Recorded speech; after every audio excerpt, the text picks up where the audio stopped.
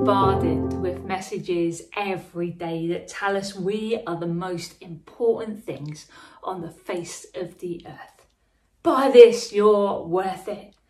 Treat yourself. You deserve it. Indulge yourself. In the film Amadeus, I don't know if you've seen it, it tells the story of the composer Antonio Salieri. He was the core composer of the Emperor Joseph II. It's a story about his life, which he lives in the shadow of the great composer Mozart.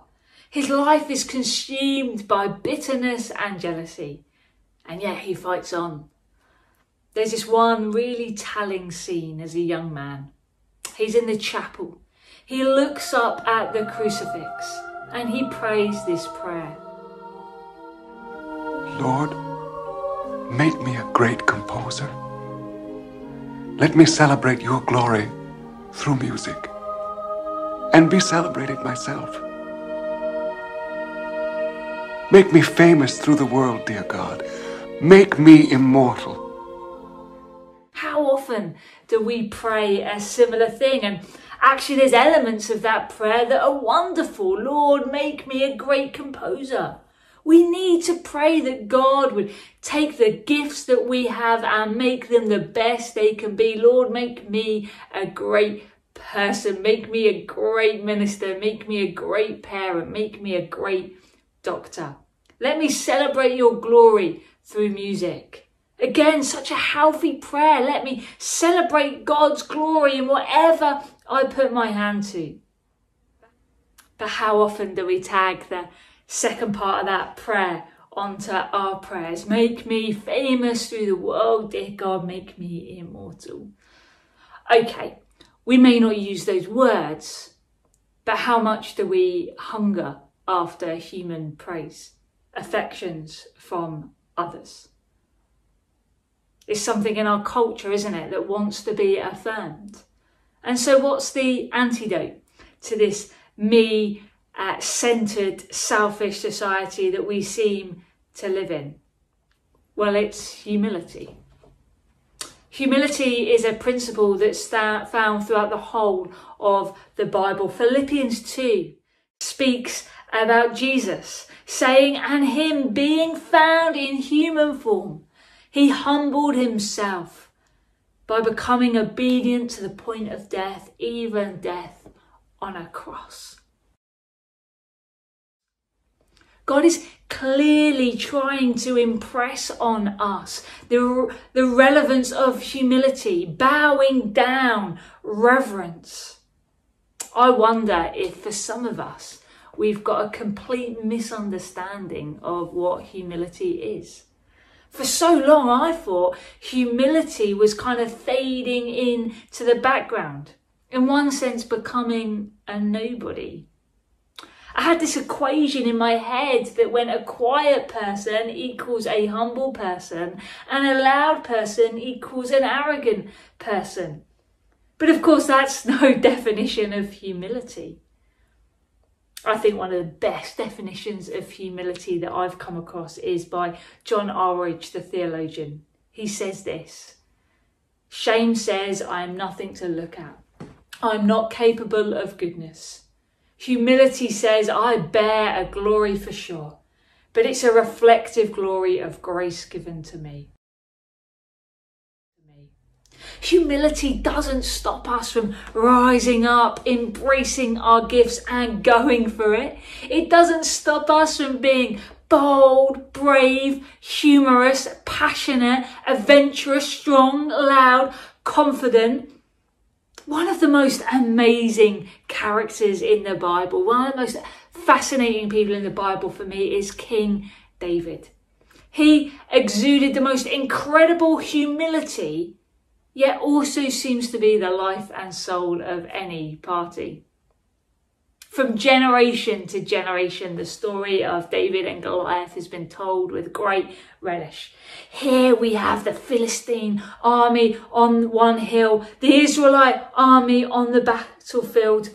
And every day, this great warrior Goliath, nine feet tall, walks out into the middle and he hurls insults at the Israelite army. He lays down a challenge.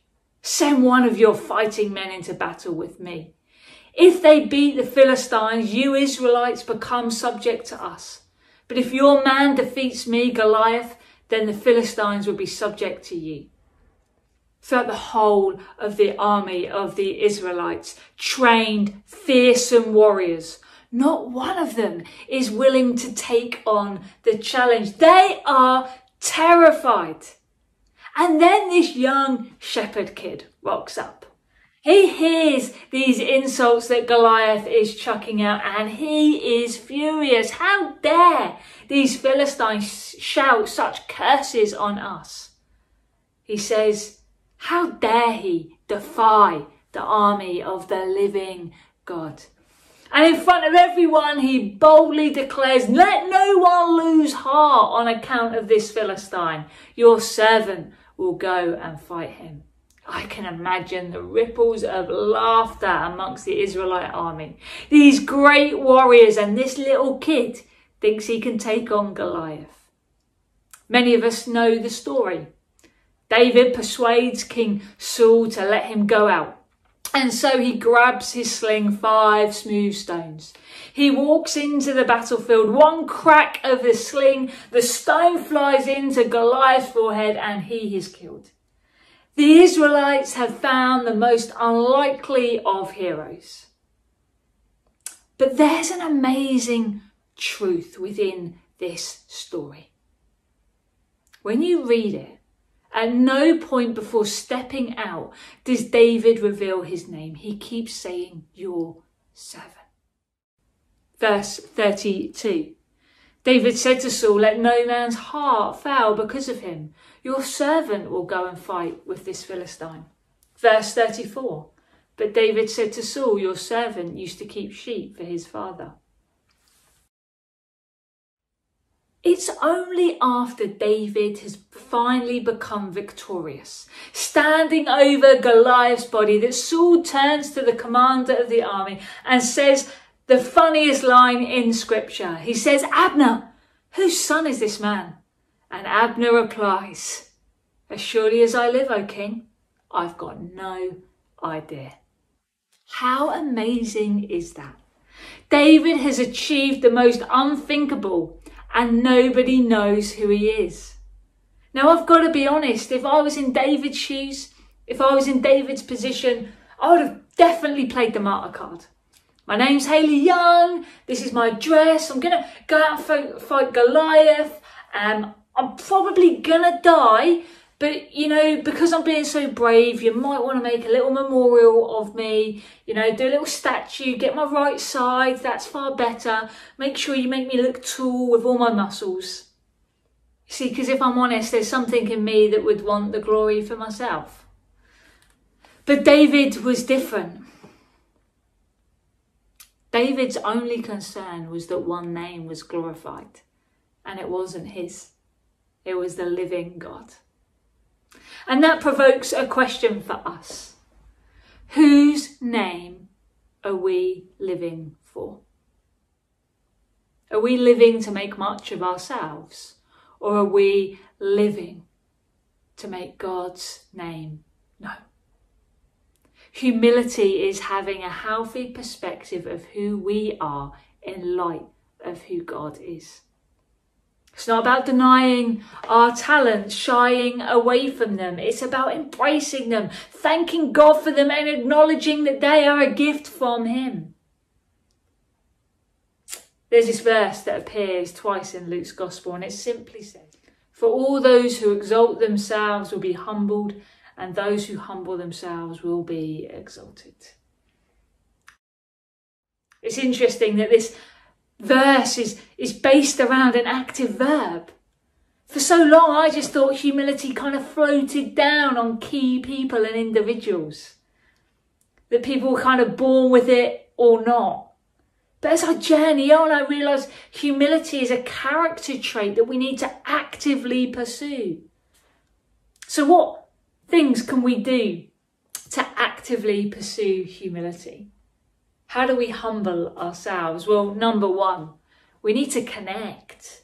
We need to connect to God. You see, humility starts with us seeing God for who He really is. Gathering before the great King, the Almighty, the All Powerful, the Awesome, the Holy.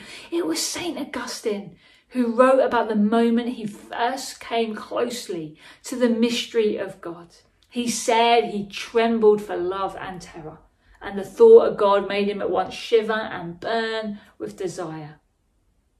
To cultivate humility, we need to grow in our understanding of God, enlarge our view and thinking of His vastness.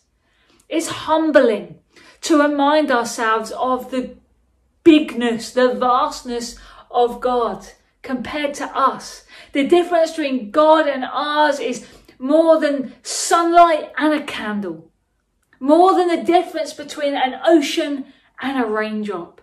More than the difference between the Arctic ice cap and a snowflake. More than the difference of the universe and the room you are in. No limitation, no imperfection should be projected onto our Creator. Compared to Almighty God, we are but a breath. And you and I need to embrace that smallness because it's in that place that we get a right perspective of who we are.